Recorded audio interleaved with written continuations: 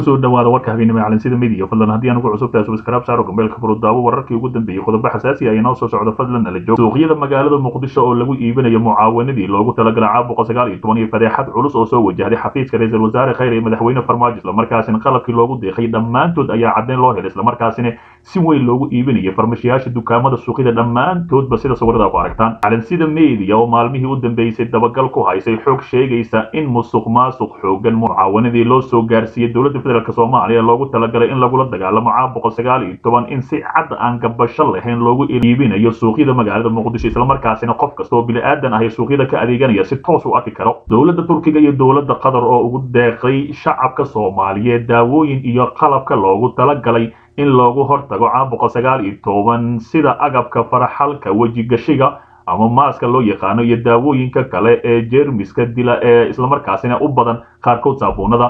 marar badan ayaa siyaasiyiinta mucaaradka ku eedeeyeen gaar ahaan madaxweyne sheekh shariif sheekh axmed ku eedeeyey in suuqyada magaalada muqdisho lagu iibinayo agabkii loogu talagalay caabuqa sagaal toban islamarkaasina gobollada dalka ay aada ugu baahan yihiin in dowladda soomaaliya ay si mas'uuliyad darro ahay musuq maasuq ah u maamushay deeqahaasi. Iskamana saarin mas'uuliyad in shacabka ay gaarto qalabkaasi muhiimka ah si bilaash ahi taas oo beddelkeeda sida caddayn buuxda lagu helay in deeqihii laga ganacsaday islamarkaasina suuqyada muqdisho lagu iibinayo taasi oo si caadi loo arkayo. Ganacsato dhowr ah oo la hadashay warbaahin dhif ahi ayaa inoo xaqiijiyey in agabkaani ay ka iibsadeen shaksi dalaal u ahaa mas'uuliyiin ka tirsan xafiiska ra'iisul wasaare kheyre waxaana ay sheegeen in qiimo aad u jaban loogu iibiyey islamarkaasina ayagana qiimo aad u sarraysa ay ku sii iibsanayaan. Deeqdii shiinaha lagu deeqay ayaa sidoo kale waxaa baqaar ku xirtay yaxye cali hareeri kaasoo markii dambena ka iibiyey ganacsato ay isku beel yihiin kuwaasoo iyagana ka iibiyey dukaanleyda iyo farmashiyaasha magaalada muqdisho islamarkaasina caddayntaasi loo helay. Dowladda madaxweyne farmaajo iyo ra'iisul wasaare xasan cali kheyre ayaa noqotay kuwii ugu musuq maasuq badnaa ee soo mara taariikhda islamarkaasina xafiisyadooda inta badan waxa ay la dagaalamaan musuq maasuq si kastaba ha ahaatee deeqdihii ugu dambeeyey ayaa iminka la arkaya baaldiyaashii iyo wax kasta oo loogu talagalay toban. Sida aad ku aragtaan waxaa ku dhegan sawirka calanka dalkaasi turkiga ee calankaasi dalka qatar islamarkaasina suuqyada lagu iibinayo tani ayay fadeexad weyn ku tahay xafiisyada islamarkaasina qaarkood ay hore u sheegeen in musuq maasuq loo xiray wasaaradda caafimaadka hay'een qaybo ka tirsan. Islamarkaasina musuq maasuq ahaan xabsiga ugu jiro si kastaba ha ahaatee tan ayaa banaanka keenaysa caddayntii uu madaxweynihii hore sheekh shariif sheekh axmed sheegay in suuqyada magaalada muqdisho lagu iibinayo agabkii loogu talagalay toban halkaasi oo degmooyin iyo magaalooyin aan weli la gaarsiinin ama baaldiga faraxalka ah ee uu jiro ah iminka musuq maasuqan la soo bandhigay. Dhinaca kale uhuru kenyatta uu soo food saaray walaac la xiriira kiiska badda bilaabanaya qorshe cusubna degay. Madaxweynaha kenya uhuru kenyatta ayaa qaba walaac badan oo ku saabsan in looga adkaado kiiska dacwadda badda iyo soomaaliya ay leedahay oo muranka geliyeen waxaana la soo sheegayaa inuu ku howlan yahay qaab walba uu kaga hor imaan lahaa go'aan walba oo uu janjeero dhinaca soomaaliya. Wargeyska afrikan ka soo baxa ayaa daawacay in kenyatta uu muddooyinkii u dambeeyey aad ugu mashquulay qaab walba uu kaga hor imaan karo go'aan ay maxkamadda cadaaladda adduunka ka gaarto badda soomaaliya. Soomaaliya ayaa sannadkii tobankii bilowday dacwadda badda ee ilaa iyo haddana la iska daba jiitamayo waxaana la isku haystaa dhulka saliidda hodanka ku ah ee u dhow xadka labada dal ee dhanka badda balse ka tirsan soomaaliya. Xukuumadda hadda talada haysa ayaa dhaliil badan kala kulantay waxayna u muuqdaa kuwo aad ugu gaabiyey inay xoogga saaraan kiisas ka yaalla maxkamadda sidii loo dardargelin lahaa taasina waxay keentay in saddex jeer dib loo dhigo. Sideedda bishan ee juun ayaa lagu ballansanaa in la dhegaysto dacwadda balse hadda waxaa dib loo dhigay sagaal bilood taasi oo ku beegan isku soo laabashada shan iyo tobanka maarso ee laba kun kow iyo labaatanka. Inkastoo loo arkayay marmarsiyo rakiis ah haddana dib u dhigista dambe waxaa loo cuskaday faafinta xanuunka caabuqa sagaal iyo toban adduunka dhibaato fara ba'an ku haayo wargeyska african ayaa aaminsan in arrintaani ay ku timid ololaha badan oo uu sameeyey madaxweyne uhuru kenyatta oo ka walwalsan in loogu adkaado muranka ay geliyeen badda ay leedahay soomaaliya. In kenyatta uu sanadka tobanka u yeero qareenka guud ee kenya ninka lagu magacaabo oketo ayaa caddayn ugu filan qof walba sida uu kaga walaacsan yahay. Kiiska wuxuuna qareenka ku guulaystay inuu dib u dhigo maxkamadda in kenya ay mar kale isku diyaariso arrintaasi wargeyska wuxuu kashifayaa in kenyatta uusan kalsooni ku qabin guusha kiiskani kaas oo beddelkeeda uu raadinayo wada xaajood uu la galo madaxweyne maxamed cabdilaahi maxamed farmaajo.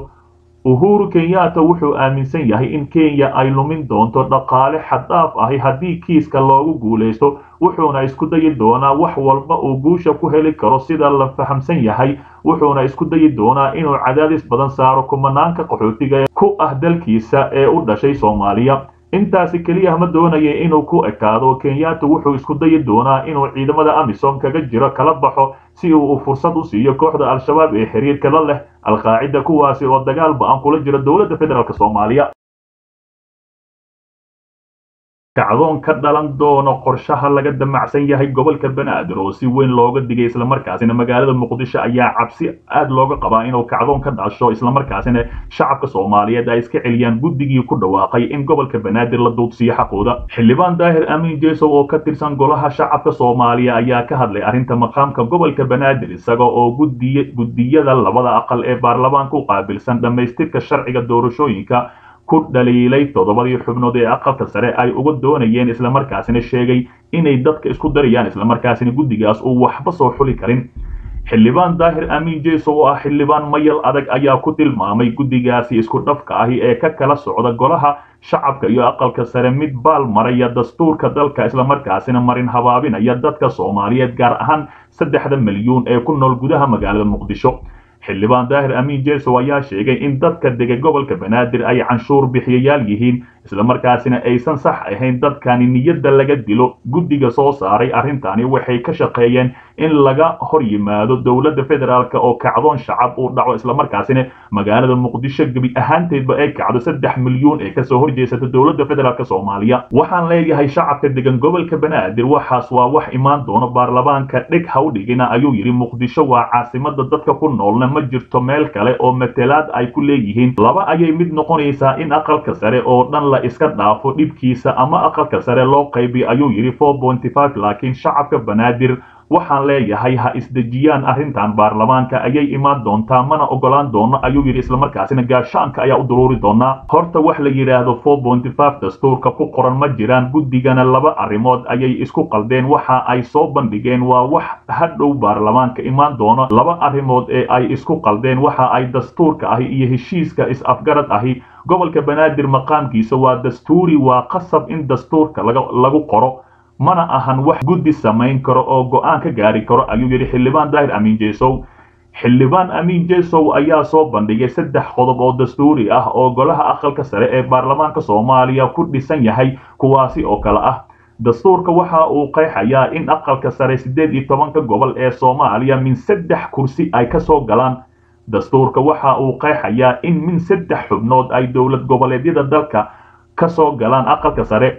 iyo qodobka saddexaad oo ah dastuurka waxa uu qeexayaa in aqalka sare lagu soo dhisi karo hanaan ay dadku ku wada heshiiyaan islamarkaasina loo wada dhan yahay. Markaan sii fiirino qodobka ah wax dadku ku heshiiyaan ha laga soo dhiso aqalka ha lagu soo dhiso aqalka sare waa in lagu heshiiyaa waxa uu noqonayo gobolka banaadir oo saamilayda siyaasadda dalku ay isku waafaqaan. Gobolka banaadir ma dowlad goboleed buu noqonayaa mise dowlad goboleed ay ku dhex taallo caasimada soomaaliya oo dowladda dhexe ay degan tahay arrintaas? Waa mid u baahan ayuu yidhi si qoto dheer looga wada hadlo ayuu yidhi xildhibaan daahir amiin jesow xildhibaan daahir amiin jesow ayaa sheegay in guddiga arrimaha dastuuriga ah ee baarlamaanka sagaalaad ama baarlamaankii sagaalaad ay soo bandhigeen dhowr arrimood oo lagu xallin karo arrinta maqaamka gobolka banaadir kuwaasoo uu ka xusay in degmo ka mid ahi toban iyo toddobada degmo ee gobolka banaadir midkood laga dhigo caasimada soomaaliya. Inta kalena dowlad goboleed ka mid ahi dowladda xubnaha ka ahi dowladda federaalk soomaaliya ayuu yidhi